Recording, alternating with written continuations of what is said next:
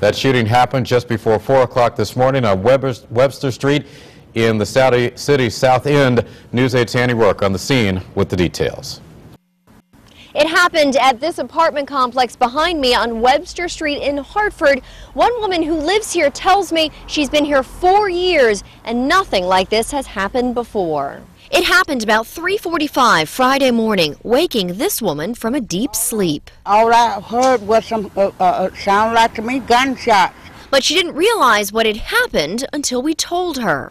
Oh, somebody was shot. The evidence was plain to see. I saw the bullet hole, but I didn't know nobody was shot. They were. A man in his 20s was shot multiple times, reportedly in the backside and lower stomach. The apartment complex, named the Monica, has a front door that we were able to just walk right through. The interior door was locked, but you can see where at least two shots went through the front glass. Police say the victim was inside this front hallway and was conscious when they arrived, but is reportedly not cooperating with police. Right now, it's not clear how the two knew each other or why one was shot, but the victim is now recovering at Hartford Hospital. It's very bad, but what can I do? Nothing.